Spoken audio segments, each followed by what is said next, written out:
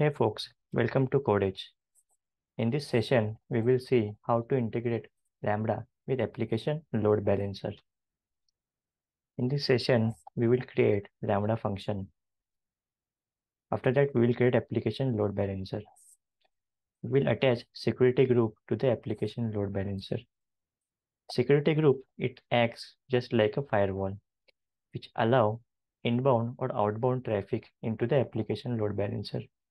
So we will create inbound rule for the HTTP traffic on port 80 so that client that is from our browser, we can access application load balancer. While creating application load balancer, we will create a target group. And uh, in the target group, we will attach Lambda function. Application load balancer required permissions to invoke Lambda function. For that, it uses resource-based policy we will see that in the in the hands-on so let's get started. Okay so this is our aws management console. So let's click on the lambda. Let's click on the create function. Let's give it a name alb lambda demo. Okay we will use runtime python and let's click on create function. In the meantime, we will create a load balancer. So search EC2 and in the load balancing section, you can find option for load balancer. Just click on that. Okay, click on the create load balancer. As we are going to use HTTP, we will create application load balancer type. So let's click on create give it a name ALB lambda demo load balancer. Okay, it will be internet facing of type IPv4. We will use default VPC and deploy it into the three subnet. Okay, now as I said, we will require to create a security group. We, we won't use default one. So let's click on the create security group. Give it a name. ALB demo security group that is SG. Give the same name in the description. Okay. And we are going to add inbound rule, which allow HTTP traffic on port 80 from anywhere on IPv4 okay let's create security group. Okay so our security group is created. Let's click on this refresh button and select newly created security group. Okay now we are going to listen on port 80 with http traffic. Now we will have to create a target group so that we can attach lambda function. So click on this uh, option and we are going to create select lambda function here. Okay, let's give it a target group name, target group for lambda. Okay, let's click on the next. Okay, let's see how our lambda function is created or not. So it is getting, it is created with the ALB lambda demo name. So select that name here. We will save the latest version and create a target group. Okay, so our target group is created. Let's go back into the load balancer configuration. Just click on this refresh button. Select TG for Lambda, that is target group. Then we can see summary is there. We are creating application load balancer of internet facing IPv4 type. We have attached security group we are using default subnet and we're listening on the port 80 looks good. Then let's click on the create load balancer. Now while it is getting provision let's go back into the lambda function. Now you can see uh, this function is returning status code as a 200 and default message is hello from lambda. Let's test it let's send a default some dummy event. Okay. We'll save test it. You can see we are getting status code. Now what we, we will do we will print this event so that we can see what application load balancer sending event to the application to the uh, lambda function. Okay. So just write a print event just deploy it and test. Okay so we can see event is getting printed here. Okay. Now let's go back into the load balancer. It is still pre provisioning. So let's wait for some time.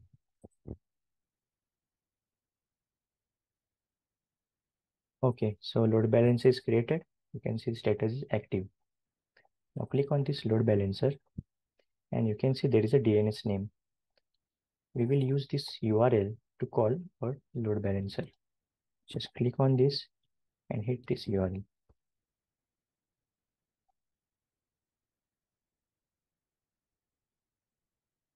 Now you can see some file is getting downloaded. Okay, let me open that file. Okay, you can see the file has a response hello from lambda, which is written from the lambda function but we don't want this uh, response to be get downloaded in the text file. We want this response should be printed on the uh, browser console. Okay. So what we can do, let's go back into our browser. Okay. And let's search AWS Lambda ALB example. Let's click that. Okay. So here you can see when application load balancer call lambda it send request in this format. Okay. You can see it is calling target group. Okay. Then http http type method it is get then some path query string. Okay. Now while returning the response from the lambda we will use this response so that it should it, it will get printed on the browser. So let's copy this and go back to the lambda function and replace this return statement with this code.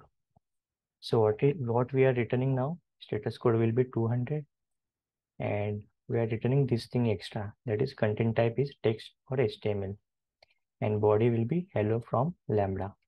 Okay so let it deploy and let it get updated and test it. You can see response is getting printed. Now let let's test it on the browser. Just copy that URL again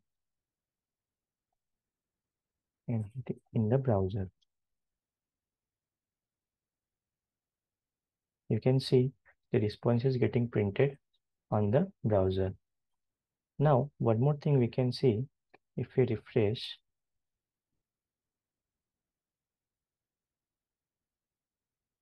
we can see application load balancer added as a trigger. Okay. Now, if you go into the monitor, just click on view cloud CloudWatch, CloudWatch log. Okay, you can select the latest one, you can see that our ALB sending request in this format. Let me select that one. Yeah, this one. So you can see the target group ARN is a target group that we have created. It is TG for Lambda, right? So this target group contains our Lambda function. Then we have HTTP method that is a get, right? Then we have query, query string parameter that is empty, that we are not sending anything. Then there is a header, right?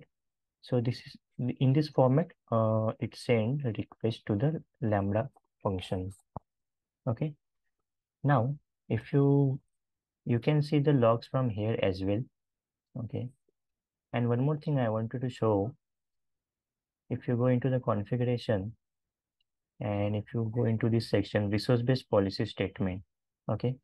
If you click on this and view policy here aws automatically creating resource based policy for alb what it what the policy says is the service that is load balancing service have access to invoke function okay?